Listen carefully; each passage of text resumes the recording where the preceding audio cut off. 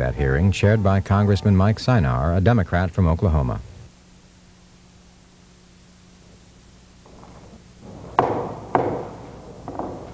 Subcommittee will come to order. Today's hearing is a continuation of this subcommittee's review of the status of our nuclear weapons complex.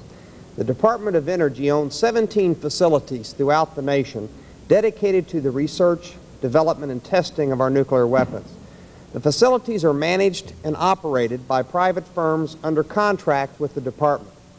Today, that complex is in a state of disrepair. In recent years, critical facilities have been forced to suspend operations due to safety and environmental problems.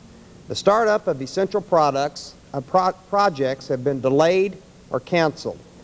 The taxpayers will be forced to pay $100 billion or more for environmental cleanup at these sites, and the health and safety of citizens living near some of these facilities has been imperiled. Clearly, this is a dismal track record which raises questions about the management practices and policies at these, sites, at these sites. The Department has provided its contractors with broad exemptions for financial and legal liability and paid them hundreds of millions of dollars in awards and bonuses despite serious environmental and safety management problems. The Department of Energy has effectively left itself no way to control the performance of its contractors or to hold them fully accountable for their actions. Recent government studies underscore this problem.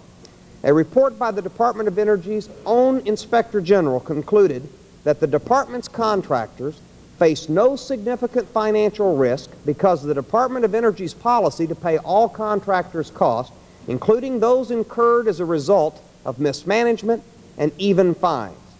Today, the subcommittee will release a report by the General Accounting Office which details the Department of Energy's payments of millions of dollars in bonuses and awards to Rockwell International at Rocky Flats Weapon Plant, despite the department's own recognition of serious environmental and safety problems at that facility.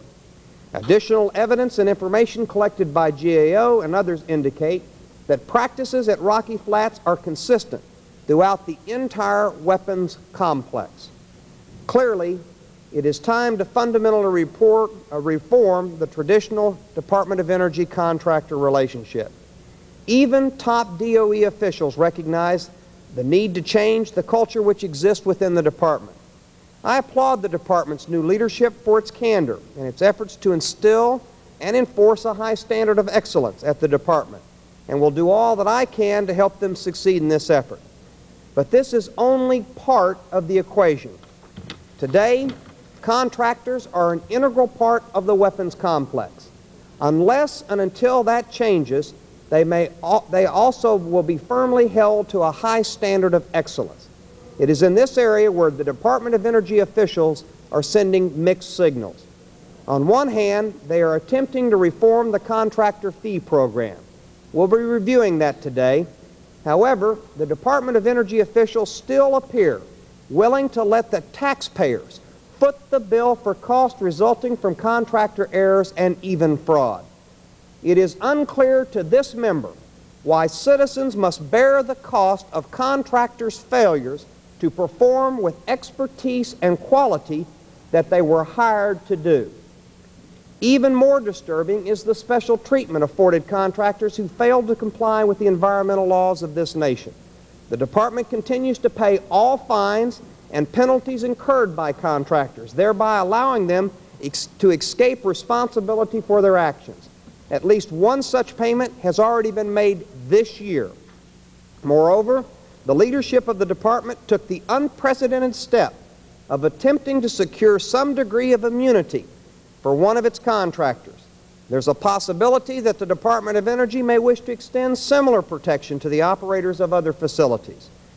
This matter is very disturbing to many members of Congress. Our constituents, our industries, and even our state and municipal governments are equally responsible for complying with our environmental laws. It is inappropriate to set a different standard of accountability for the contractors who operate and manage the Department of Energy's nuclear facilities. This is a very important issue. If it is not properly resolved, it could undermine the Department's efforts to improve the quality of its operations and to establish the credibility it needs with the American public. Mr. Clinger?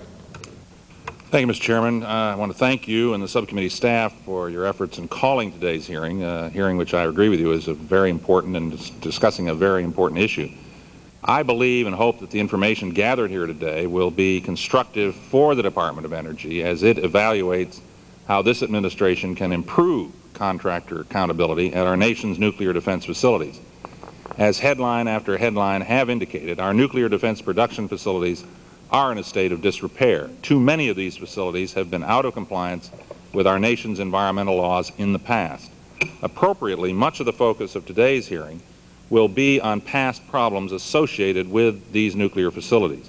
A number of these problems were, quite frankly, the result of poor management on the part of contractors whose expertise we rely upon and poor oversight on the department on the part of the Department of Energy and its predecessor agencies charged with ensuring that these facilities are operated in a manner that does not unnecessarily endanger human health or pose an undue threat to the environment.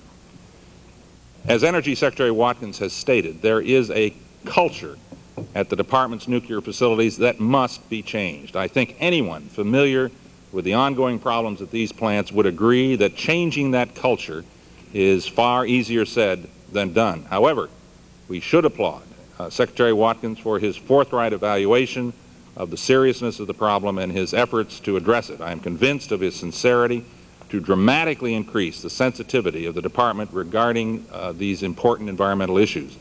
We should work with him in a cooperative spirit to accomplish this most difficult management assignment. Today we're going to hear from the Department of Energy's Inspector General, who will outline some of the past practices and current problems with the Department's uh, contractor indemnification uh, policy. It is my understanding that the Secretary has read the Inspector General's report and will shortly be reviewing recommendations for reforms suggested to him by the Department's uh, General Counsel and the Assistant Secretary for Management and Administration based on their findings. Like other members of Congress, I am heartened by the steps being initiated by the Department at this time. Award fee reform is one such initiative currently being undertaken by proposing that at least 51 percent of the award fees available to contractors be dedicated to meeting environmental, safety, and health objectives. The Department has taken an appropriate and overdue step, perhaps, toward ensuring that facility employees, local residents, and the environment are indeed protected. The Department has bitten off a lot in its desire to restore credibility to DO, Department of Energy operations. As the principal oversight subcommittee for the Department of Energy, uh, we will, I'm sure, be monitoring the Department's follow-through. However, I think I speak for both uh, Chairman Synar and myself when I say that the subcommittee stands ready to be of assistance to the Department in any way we can. Thank you, Mr. Chairman. Thank you, Mr. Clinger. And let me just say that I want to thank you and Kirk both for the outstanding job you've done in working with us in a, a very bipartisan nature with respect to this hearing. Mr. Douglas. Mr. Chairman, I think today is typical of the great clash we're going to see between the need for nuclear weapons and our national defense and the need for a safe working environment and a safe environment around these plants. So I look forward to the testimony and hopefully as part of our oversight we can make sure that we have our weapons produced but in a safer and more environmentally sound manner. Thank you, Mr. Douglas. Our first witness today uh, will be Mr. John C. Layton, Inspector General of the United States Department of Energy, and he will be accompanied by Mr. Pat Brooks. You two gentlemen would come to the table. As you know, it is the custom of this subcommittee, in order not to prejudice past or future witnesses, to swear all of our witnesses in. Do either one of you have an objection to being sworn in? If not, if you'd raise your right hand. Do you solemnly swear that the testimony you're about to give is the truth, the whole truth, and nothing but the truth? Thank you. Welcome, Mr. Layton, back to our subcommittee. Uh, we look forward to your comments this morning. Your entire testimony will be made part of the record and we look forward to your comments at this point. Mr. Chairman, in your letter of October 13, 1989, you requested that I present testimony and answer questions regarding the Office of Inspector General's recent report on the Department of Energy's... Pull it, pull it towards you just a little bit. there you go. How are we doing? On the Department of Energy's indemnification practices with respect to management and operating contractors. The purpose of the indemnification report was to review the Department of Energy's policies and practices regarding both the nuclear and non-nuclear indemnification of its management and operating contractors. We found that the Department's fundamental policy is, with exceptions, to completely indemnify its M&O contractors, bear substantially all risks, both nuclear and non-nuclear, and pay all costs associated with running its facilities. These costs include fines, penalties, claims, losses, and damages. In summary, virtually all costs incurred by M&O contractors can be expected to be paid under the contracts. There are some major exceptions to total indemnification, including costs that have been specifically identified in the contract as unallowable, losses or expenses that result from willful misconduct or lack of good faith on the part of a few contractor personnel, key personnel, the fines and penalties on activities outside the scope of work or without contracting officer approval. The Department's indemnification of nuclear activities is required by the Price-Anderson Amendments Act of 1988, which also subjects the contractors to both civil and criminal penalties. Non-nuclear indemnification is permitted through general contract authority. As a result of our review, we found that in the face of the Department's indemnification policies, the award fee mechanism constituted a very important financial incentive for contractor performance. The award fee is incorporated in 29 of the Department's 52 active M&O contracts. We also found that although the Price-Anderson Amendments Act of 1988 provides for civil penalties against the contractors, existing language in M&O contracts would appear to allow indemnification of the contractors from such penalties. We recommended in our report that the contracts be modified to resolve this apparent conflict. Another issue we discussed in the report is that some M&O contractors are set up as independent corporations, separate from their parent corporations and without significant assets. We consequently recommended that DOE ascertain whether civil penalties could in fact be collected from such subsidiary corporations. In addition, we noted that the administrative procedures necessary to implement the civil penalties program, as authorized by the Price-Anderson Amendments Act of 1988, were not yet in place, and we recommended that that be done. Looking at indemnification from a broader perspective, namely relieving corporate personnel from personal responsibility, we noted that one contract, which is no longer active, did provide DOE with the contractual right to, to demand removal of a contractor employee from DOE work. We also noted that the Department of Energy acquisition regulations clause on this subject used in the M&O contracts appeared to have erroneously omitted such a right of removal. We have recommended that such a right of removal be inserted in the M&O contracts. We also found that in five of the Department's M&O contracts, reasonableness was not used as a definitive criterion for determining the allowability of costs. We recommended that the Department reconsider this situation. Finally, we recommended that the Department consider increasing the number of contractor personnel whose actions could result in corporate liability, and also consider identifying other circumstances, for example, environmental fines and penalties for which the contractor would be held financially responsible. We have discussed DOE's current indemnification policies and practices with departmental officials. Some DOE officials have expressed the belief that the Department's current policy of comprehensive indemnification represents the most practical and least costly alternative available to the Department. They believe that if the Department did fully indemnify its contractors, the risks to the contractors would be so great that the Department would be unable to find qualified contractors to run the Department's facilities.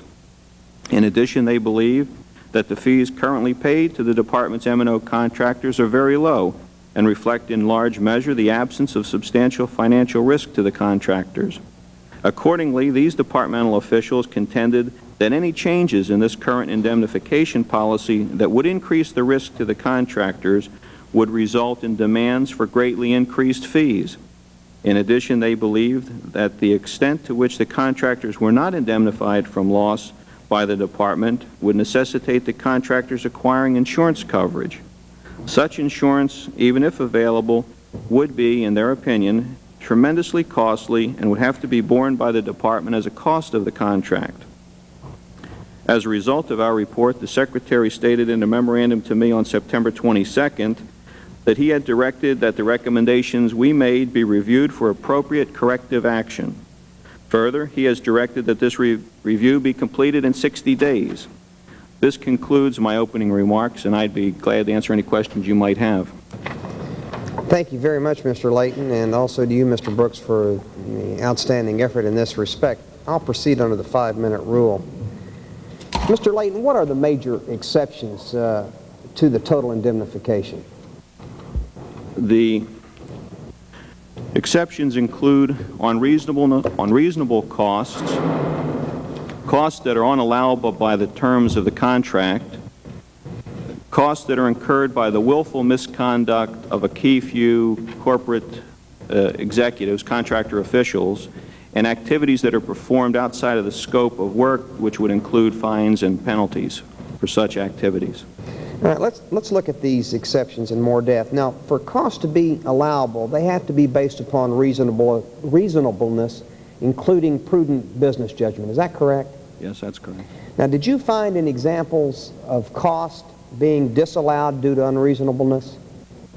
I'm not aware of a case where costs have been allowed, uh, disallowed after the fact due to unreasonableness.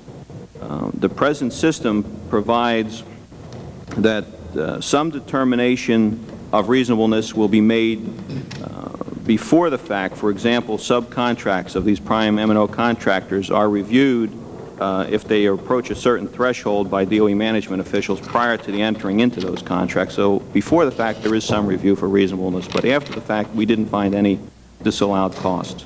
So here's the situation. The Department of Energy has spent billions of dollars uh, on management and operating contractor activities over the last uh, couple of years, yet no contractor uh, expenditures over the last three fiscal years have been judged to be unreasonable. Doesn't that seem to be a little bit low? Yes, it does. Well, let me put it another way. Is there room for the contract offices to more aggressively apply that reasonableness standard? Yes, I think so. And I think when Admiral Watkins talks about changing cultures, that's one of the things that's a culture that needs to be changed. That we have to spend more time, the Department of Energy has to spend more time thinking about reasonableness of costs. Well, let me explore that a little bit more. Isn't it true that even some of the DOE contracts do not even contain a reasonableness standard for determining the cost, and therefore um, meaning that the Department of Energy pays everything? Yes, that's true in the case of um, the AT&T contract at Sandia. There, I don't believe that reasonableness is mentioned in that contract. And the uh, contracts with the University of California have um, a statement that cost must be reasonable to be uh, to be allowable, but then it goes on to say that um, they will they will be considered reasonable um, unless they were um, incurred by the willful misconduct of a few key executives. They're allowable unless the, and if that criteria is uh, not So under those contracts where that clause does not exist, the Department of Energy pays even if they're unreasonable costs, don't they? Yes, and I, I think the department needs to consider, reconsider the reasonableness tests. You'd consider that pretty extreme, wouldn't you? Yes, sir. All right. Now, another reason for disallowing cost is, quote, mis a willful misconduct or bad faith, unquote, as a part of the, uh, as a part of a few key personnel. Now, generally, how many individuals on site qualify as key personnel? Well, it can be as few as one person, and I don't know what the maximum number is. So unless the contractor's employee is, quote, the key employee, the cost resulting from fraud or even theft would be reimbursed by the government, wouldn't they? Yes, that's correct. Well, doesn't that create a situation, Mr. Layton, where the top officials on site have absolutely no incentive to know what's going on? That may be the case. The, um, and as you know, in our report, we recommended that the number of key uh, officials be expanded or consideration be given to expanding the number of key officials so that there would be more people who had this incentive. I think that there are other incentives that exist, but to answer your question, I think there needs to be... uh, But that goes across the grain of what the Department of Energy is trying to do, which is to get management involvement out of its contractors, doesn't it? It may. Now, what kind of incentive uh, does this provide for non-key personnel, Mr. Layton? Well, I think the first thing is we recommended expanding the number of key personnel to, to give more incentive. And the uh, second point uh, along that lines is that those key personnel are responsible for incentivizing the people below them, making it a, a requirement of the subordinate personnel to report aberrant behavior or, or uh, unauthorized acts. Okay.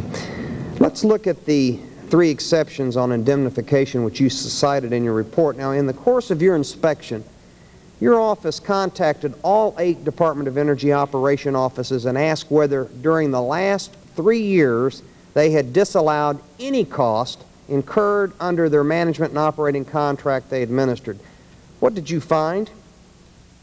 One operations office, to the best of my recollection, reported that they had disallowed costs, and that was the Savannah River Operations Office. And an example that they cited was the $64.5 million in severance pay.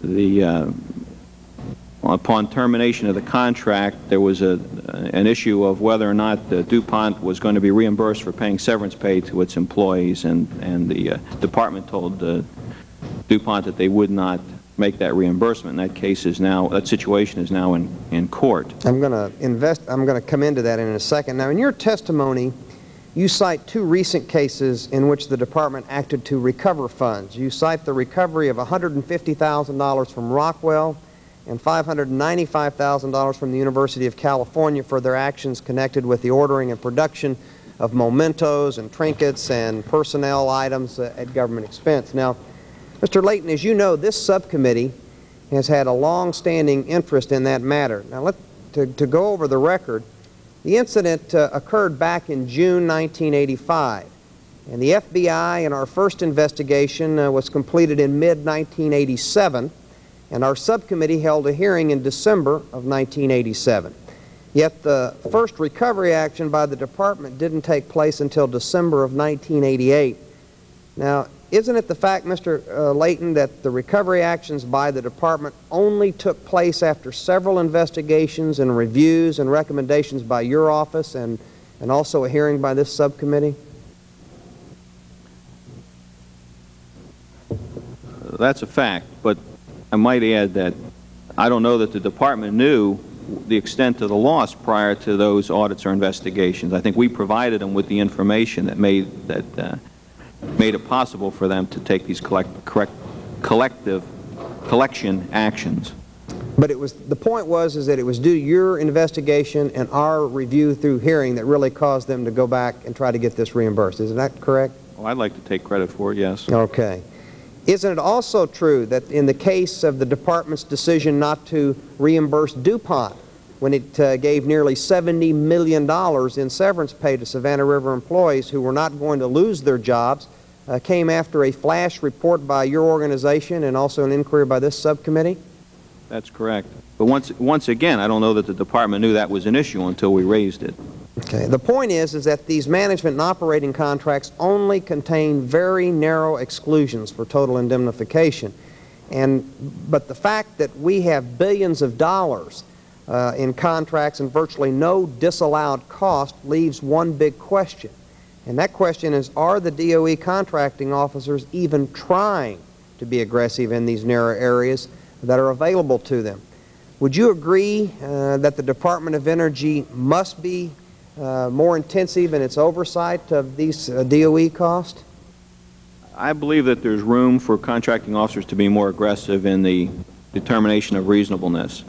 And I also think, and, I, and I've testified to this before, that contract administration is key to making these M&O contracts work. It's key to making any contract work, but particularly, in my opinion, critical in these contracts. And I think that's what the Admiral also is talking about when he talks about culture, putting more people at sites, that he recognizes that need and is attempting to correct that situation. Well, let me ask this, if I could. Even if the contracting officer disallowed the cost, which is what we're trying to accomplish here, how does the Department of Energy ensure the contractor does not get paid? I think it's important to understand how an M and O contract works. And it's a complicated process, but I will try to make it as simple as possible, and I realize I'm under oath, so there may be, a- maybe a little bit of a need to correct this, but Pat, if you can jump in here. With an M and O contractor, the contractor is essentially spending the government's funds when they write the checks. Therefore, there is not a voucher received like there is with a traditional contractor, which people can then review and say, we sign off on these costs or they were appropriate. When the costs are incurred, they are expended and they're drawn down on a letter of credit from the government funds. Therefore, in my opinion, contract administration, these acts of the predetermining, excuse me, predetermining whether a cost is appropriate or not, for example, the review of subcontracts, is critical to the success of an M and O contract. And it, it's in that area where you have the ability to, to avoid costs rather than, than collect them back after they have been incurred. And as you're aware, as I've testified, they don't have assets of any appreciable amount in these uh, companies that are running our facilities. Well, the answer really is they can't ensure that they're not paid because they draw down on that letter of credit. They're, this is after the money is spent, so the Department of Energy is in, a, in, in the posture of recovering. Is that correct? That's correct. All right. So they can't stop it, all right?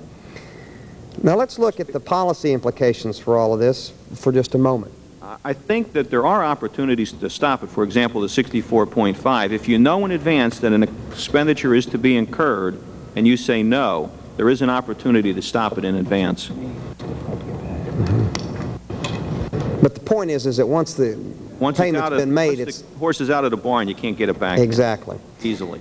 Now, contractors are totally, effectively, what we've learned here in just the last couple of minutes, and I apologize to my colleagues and I'll give them extra time. The contractors are totally indemnified for all practical purposes. Even in the cases of outright fraud, the costs are likely to be paid for by the government.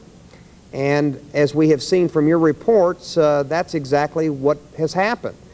The Department of Energy, if I could review this, has not even made much to the narrow avenues which they have available to them. What it appears to this member is, is that the Department of Energy has effectively eliminated all the risk to the contractors. So how does the Department of Energy penalize these contractors if nothing's at stake?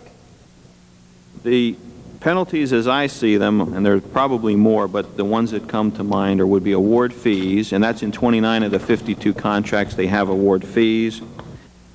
Contractors, for the most part, are large, well-known public institutions, private institutions in the public eye that have reputations at stake. We have the opportunity to withhold funds from their management allowance, and approximately every five years, there's an extend uh, or compete decision made, and that, at that point, it's, de it's determined whether or not we want to keep that contractor or compete it and see if uh, somebody else can win, win that contract. So I think they're not as dramatic, maybe, uh, ways of penalizing a contractor, but there are some ways to penalize a contractor. Well, let me, let me uh, s- summarize here in just two brief comments. To make the record clear, what you're saying here is, is that award fees are, award fees are very important incentives, but what you're not saying is that they have been effectively used. Is that correct? I haven't done audit work to verify that. Um, they are, they are a tool that's available. Whether they've been used effectively or not, I think you have witnesses that are going to come on after me that will establish that. Well, let me invite you to stick around to hear GAO who will testify next. Let me, last question. In your report, you note that the department personnel expressed the belief that the Department of Energy did not fully indemnify its contractors and that the risk, uh, uh, if they did not fully indemnify their contractors, that the risk would be so great that no qualified companies would be willing to operate these facilities. I guess the natural question from that uh, position in the report is, is it a good attitude for the Department of Energy to bring to the bargaining table? I mean, how can the Department of Energy really adequately represent the interest of the government and the taxpayer if their only concern is retaining the party who's they're trying to bargain with? Well, I, I agree that would not be a good attitude to bring to the bargaining table.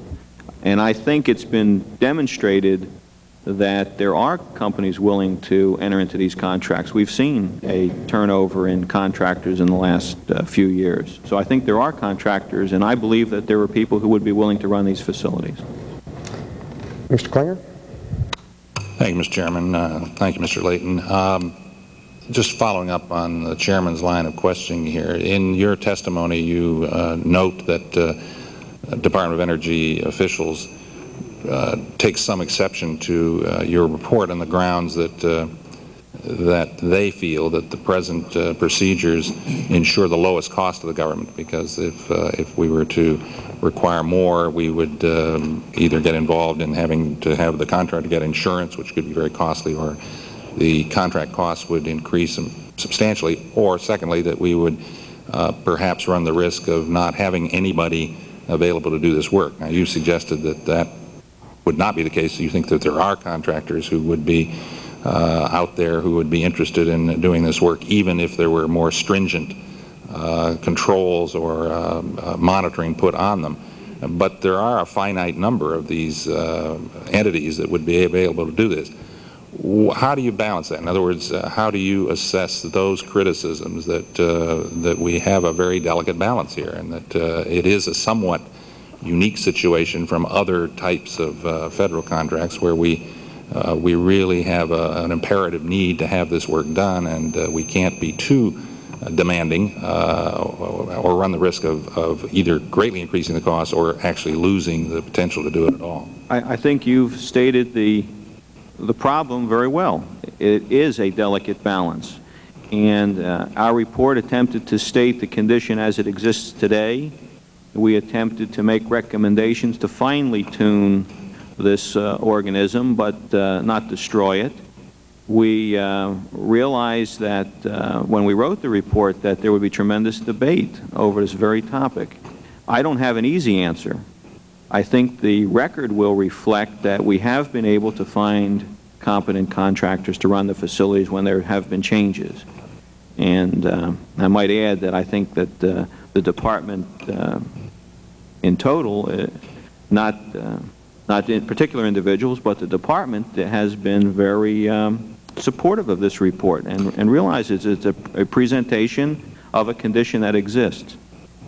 Uh, what about the, the uh, suggestion that, that uh, some of the recommendations that you make for fine-tuning would uh, result in uh, vastly increased cost to, in other words, that we'd really find that this program being much more expensive rather than less. Uh, I think that's a, a, real concern, and it's a possibility, and um, that's a, a trade-off that has to be weighed very carefully, that we pay now or we pay later. Uh, you did indicate that uh, thus far, at least, uh, your, your report has been constructively received by the department, and I think you indicated that they will be responding to some of your recommendations within 60 days. Is that? that that's correct.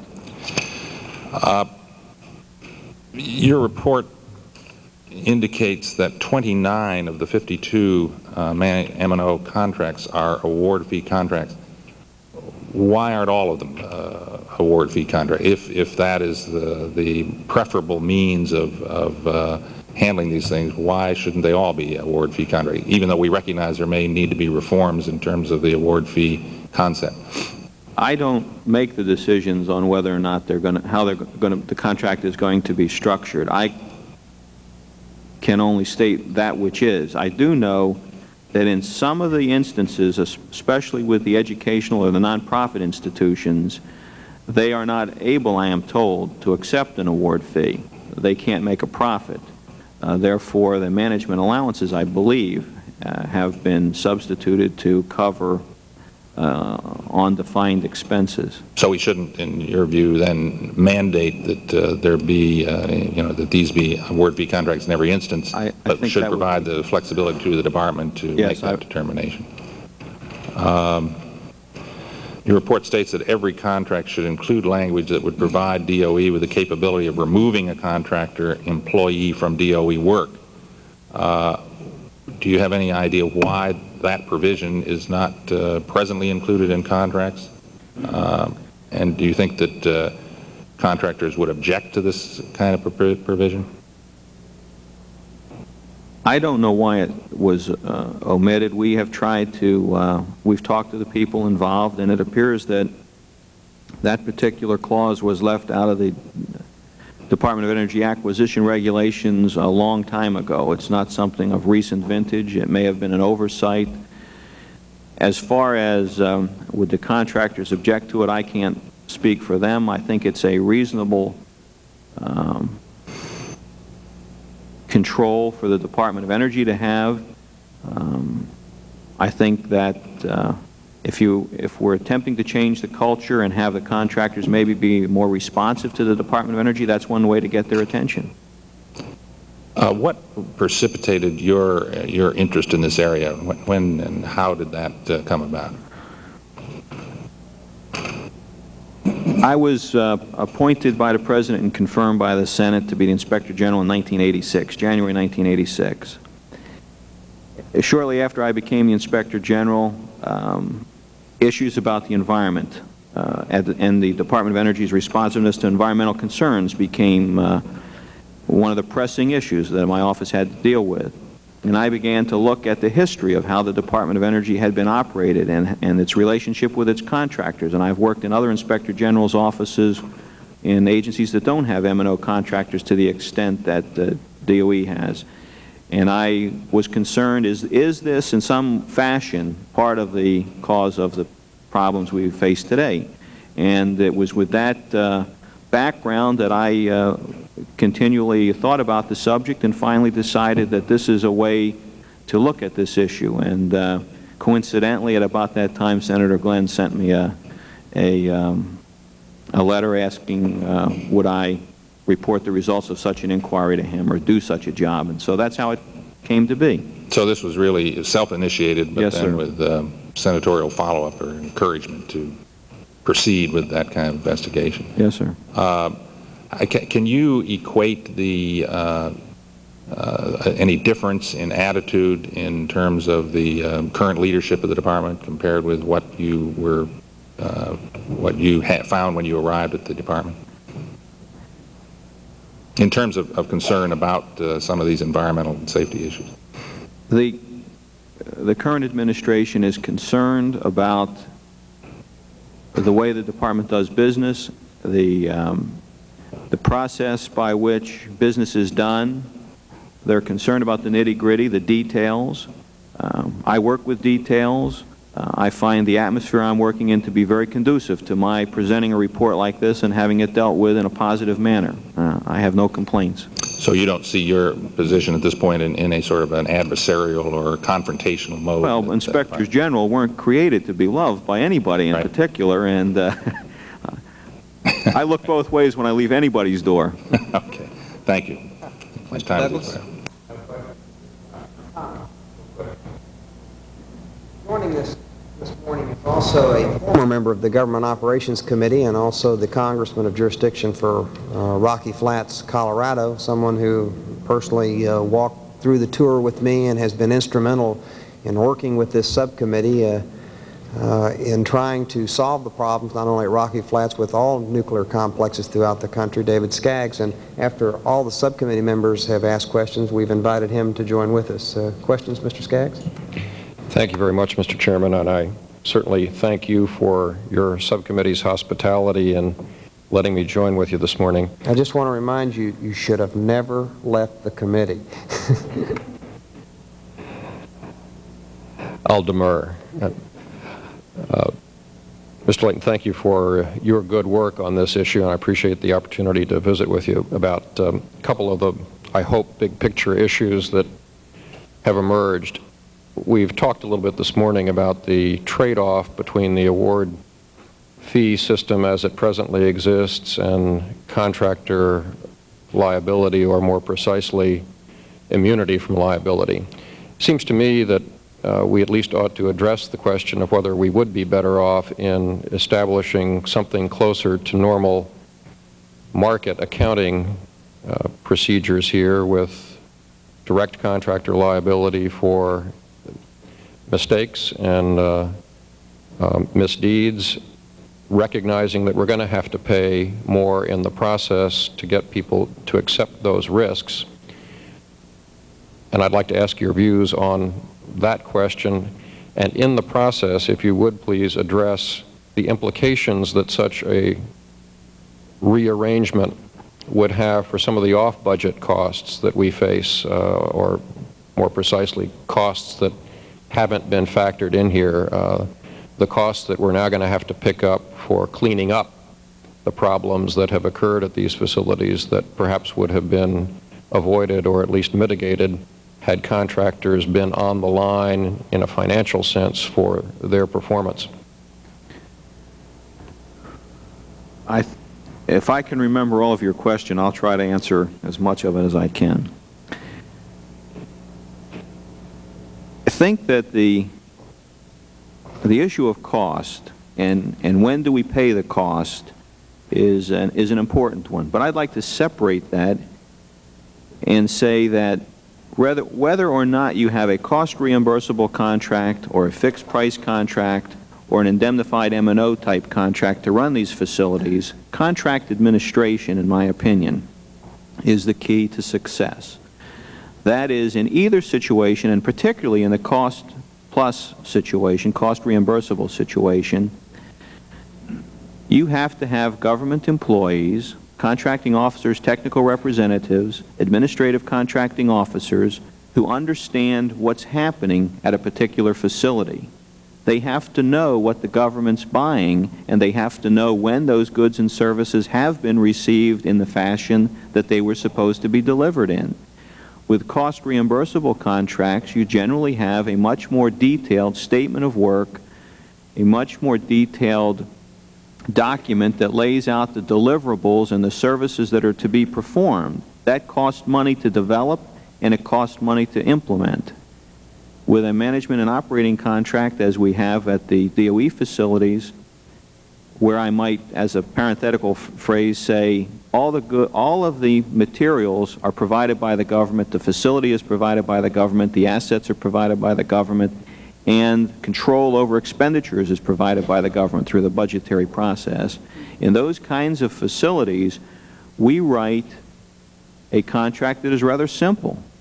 It doesn't have as many people involved in the administration, and therein may lie the rub that we try to administer those contracts or have tried to administer those contracts with fewer people who don't always know what's going on. There aren't enough of them to know what's going on.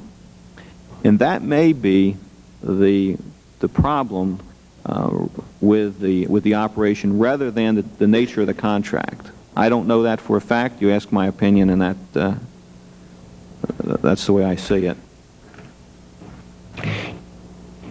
Would also like your, uh, your general observations about whether some of these contractors basically uh, uh, overstay their useful life at facilities, that we have established a pattern in the department uh, of not being tough enough when those five-year renewals come around and at least it seems to me that a pattern has emerged in which, for a first five years with a new contractor, things go pretty well. For the second five years, typically uh, the edge is off a bit, but things are okay. And then it seems not just at Rocky Flats, which I'm familiar with, but perhaps the same theory could be applied elsewhere. We, we see a gradual deterioration of controls and, and uh, appropriate attitude on the part of the contractor, which suggests to me that uh, there's uh, perhaps merit in looking at tougher standards the longer somebody's got control of a particular site.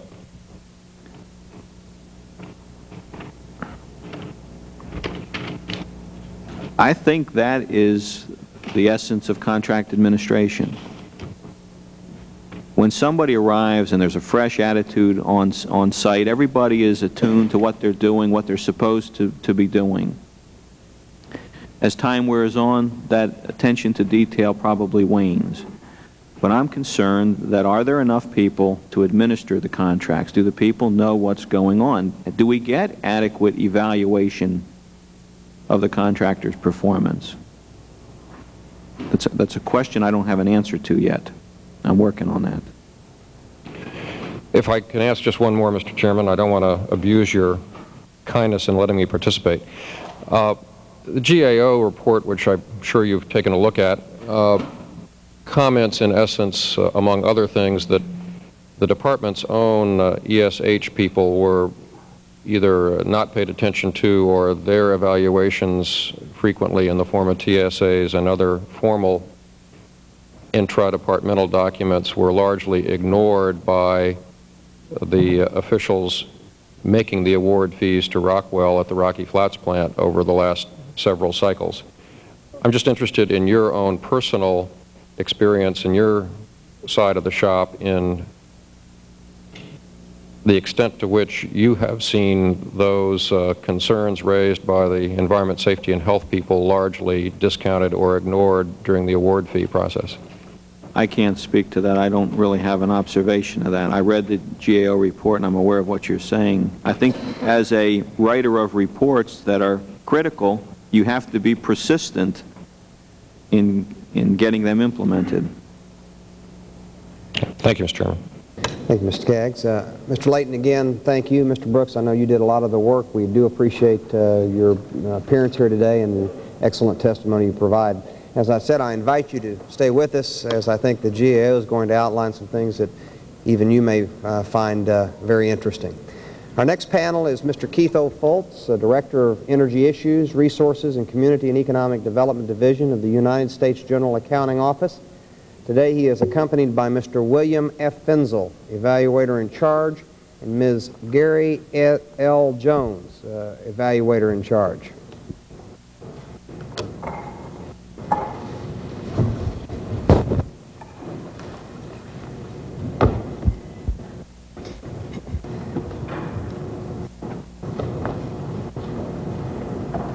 Do any of the three of you have any objection to being sworn in? No, we do not. If not, if you'd raise your right hand. Do you solemnly swear that the testimony you're about to give is the truth, the whole truth, and nothing but the truth? I do. Welcome again uh, to the subcommittee. And uh, as is the policy, we will uh, admit your whole testimony into the record, and at this time we look forward to hearing from you. Thank you very much. Mr. Chairman and members, I'll try to keep my comments very brief. We are pleased to provide our views on how DOE rewards its contractors under the awards fee process. We will focus on the awards DOE paid Rockwell at Rocky Flats. As you know, GAO has issued numerous reports and testimonies on serious environmental, safety, and health problems in the nuclear defense complex. Safety problems have actually shut down many key facilities.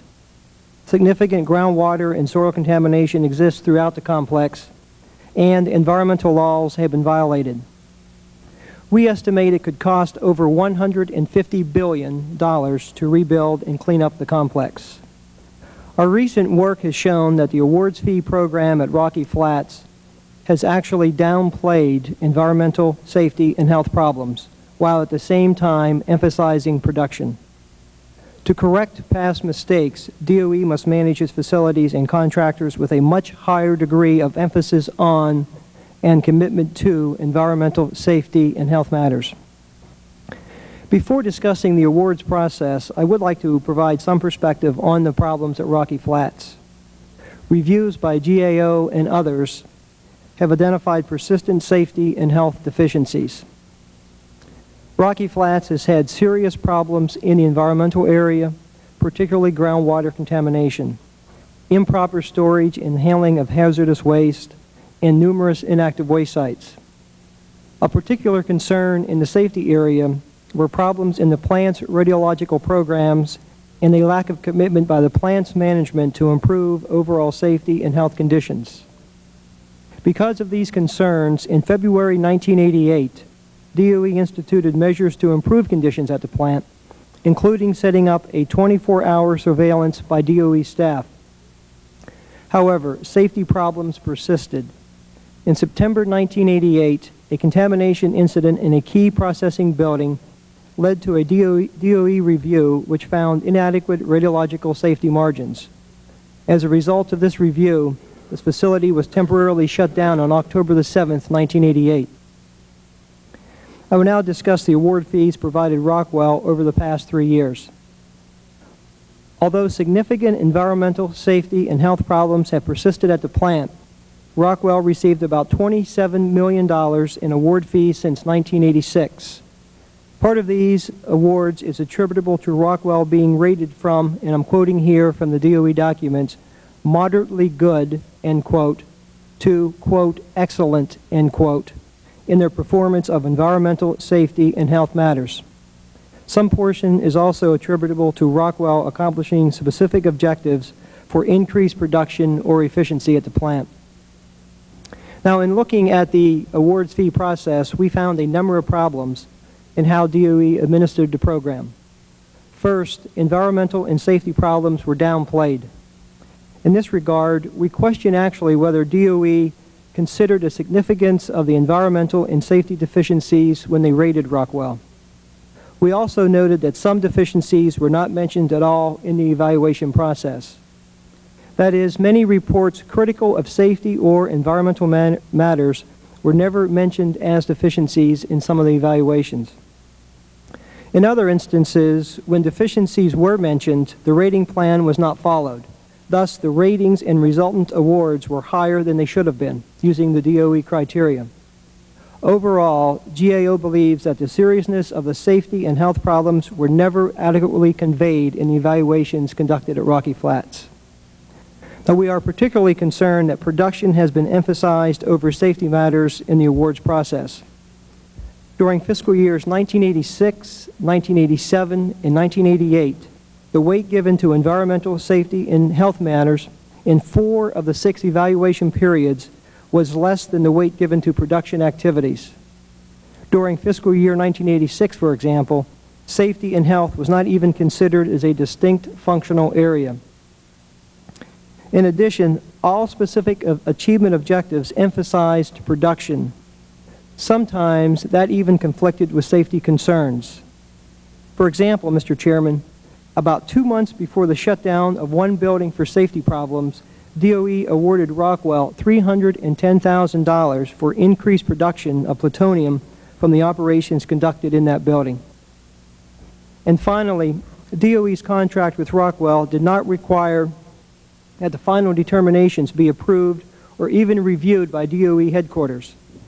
We believe all awards should be reviewed so they reflect more than just the reviews or opinions of an operations office.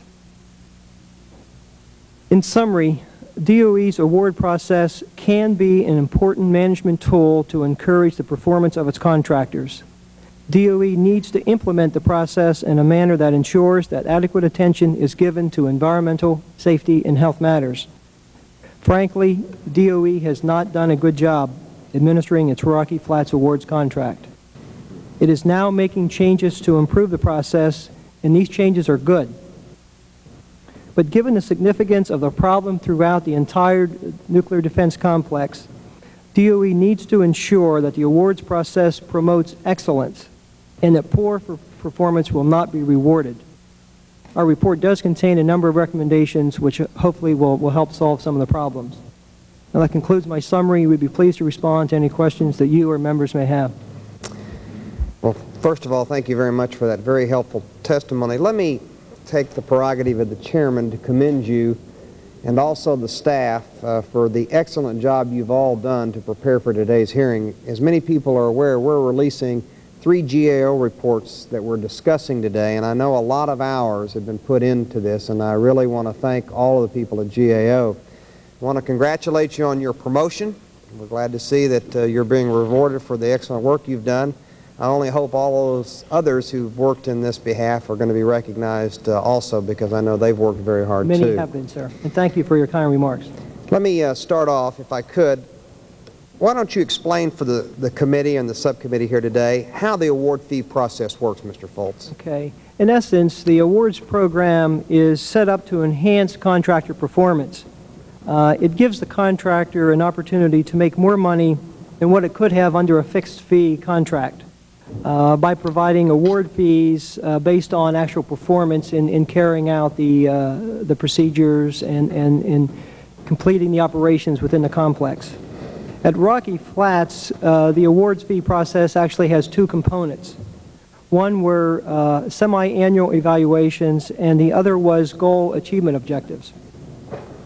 Now, under the semi-annual evaluations, DOE conducts um, reviews of various performance areas such as production, general plant maintenance, environmental health and safety, and rates and scores each of these areas.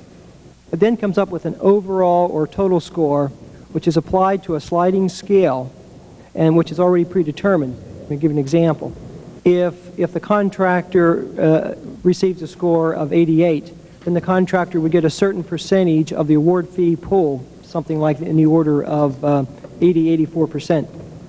Once that score is given, the, the uh, scale is applied, and then the Albuquerque office makes the final award determination. And As I said in my, in my summary, that heretofore was not reviewed by anybody in headquarters. It was solely the decision of the Albuquerque office. In addition to the semi-annual evaluations um, at Rocky, there are also special objectives that have been established, which the contractor is charged with trying to meet.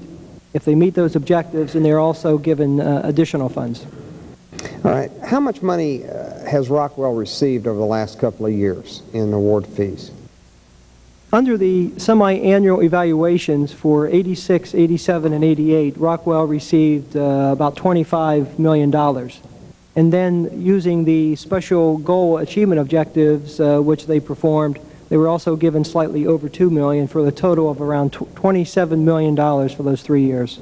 Now, is this process or concept the same throughout the Department of Energy?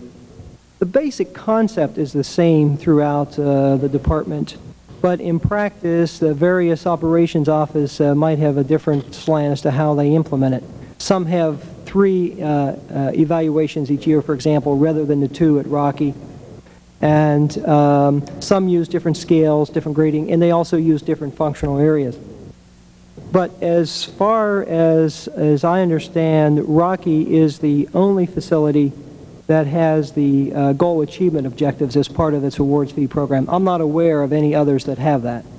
All right. Throughout your report, Mr. Fultz, you point to environmental safety and health problems that have been downplayed. Can you give the subcommittee some examples of that? Yes, I can. Um, for the evaluation period between uh, October 87 and March of 88, which is a six-month period. DOE gave Rockwell a rating of, and I'm quoting here, moderately good. That's on the scale, in safety and health. But yet, in, in analyzing that, that evaluation and reviewing what was going on at that period of time, we found a, a what we can consider a number of problems that were uh, present at that time of that evaluation. For example, a technical safety analysis was issued which was very critical of the plant safety performance at this time.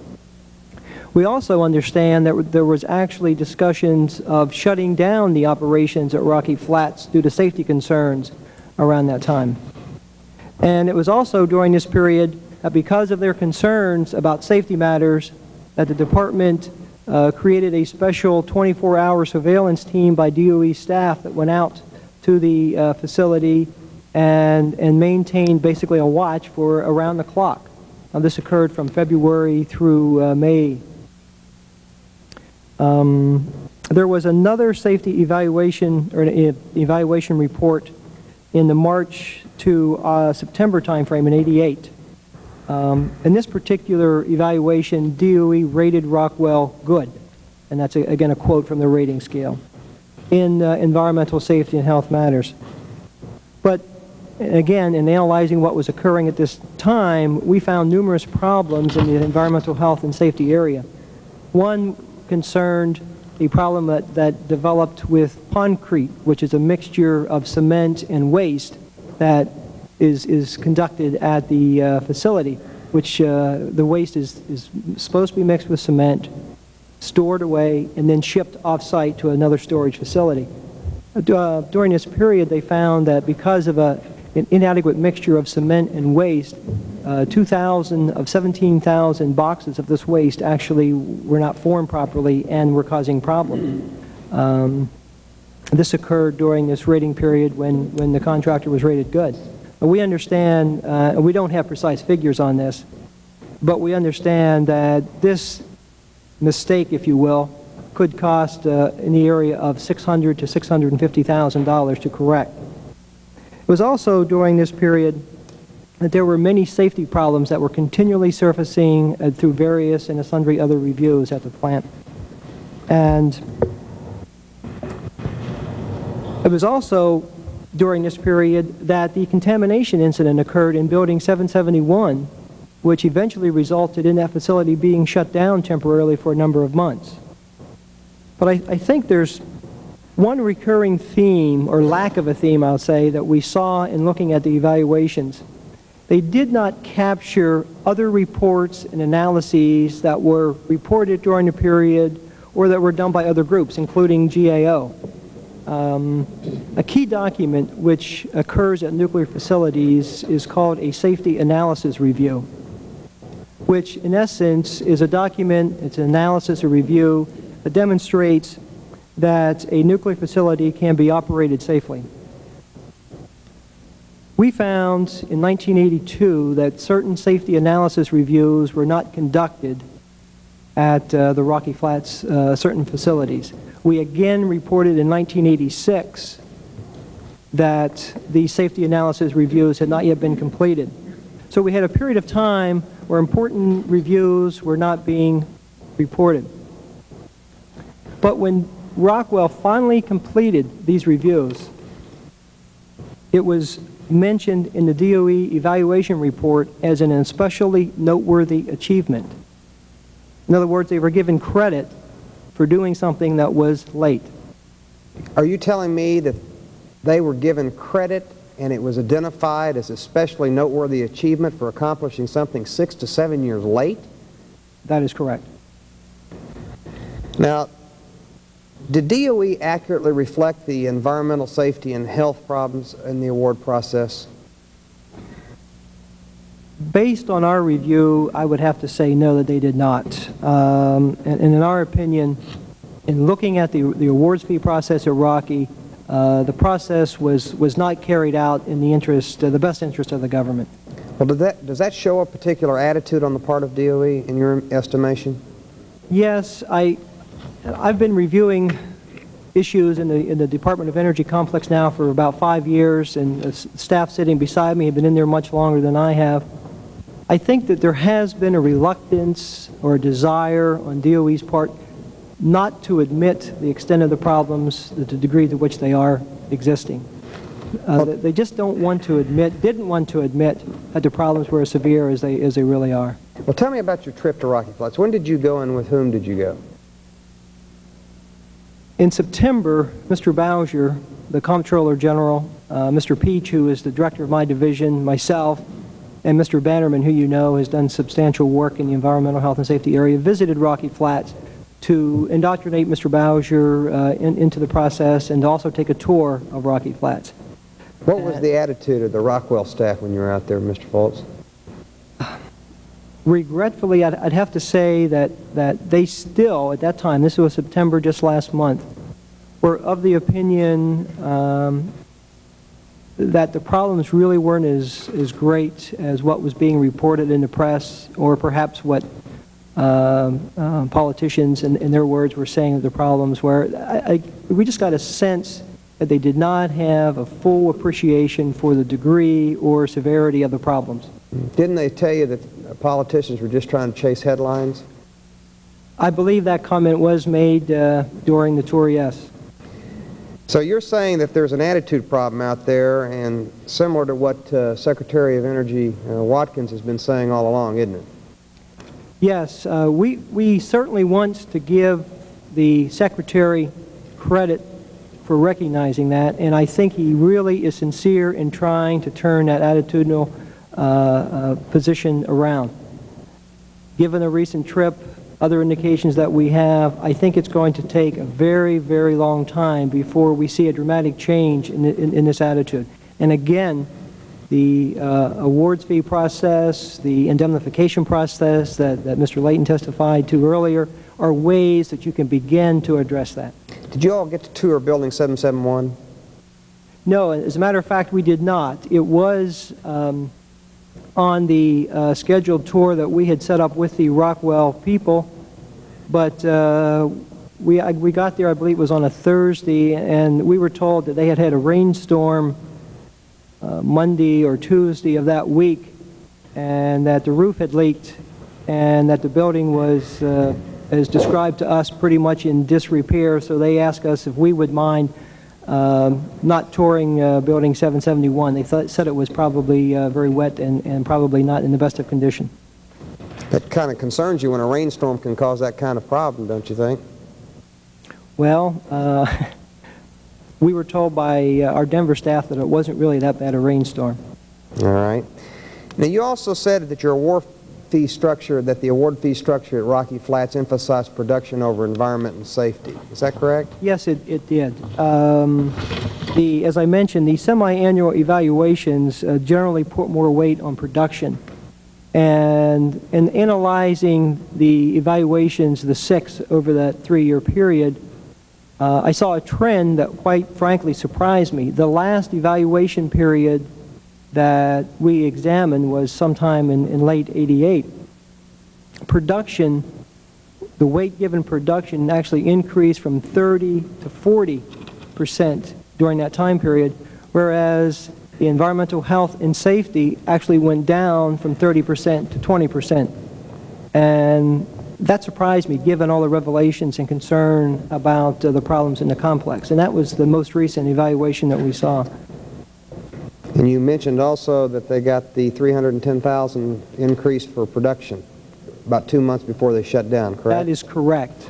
Is it fair to say that the uh, goal achievement uh, objectives is the second bite of that award fee apple, Mr. Fultz? I think it's fair to say that the money's paid, the money's not paid under the awards fee process can be earned under a goal achievement program, if I could restate your question somewhat. All right. Will DOE's initiatives correct the problems, Mr. Fultz? We believe that the DOE initiatives will go a long way in correcting the, the problems. However, as with any substantive change like you're seeing, it's going to take a long time for that to occur. So I would say that the jury is still out as to how effective they will be eventually. Um, we think some of the changes are very good. We were very pleased to see the headquarters review aspect added. We think that's very necessary. Uh, however, we are concerned that there, there still is uh, too much judgment or discretion allowed the evaluators.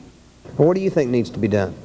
Very simply, I, I think more criteria is going to be needed um, so that the uh, DOE can spell out for the contractor how various types of deficiencies will be treated and to give the evaluators some type of criteria to use to make the judgments from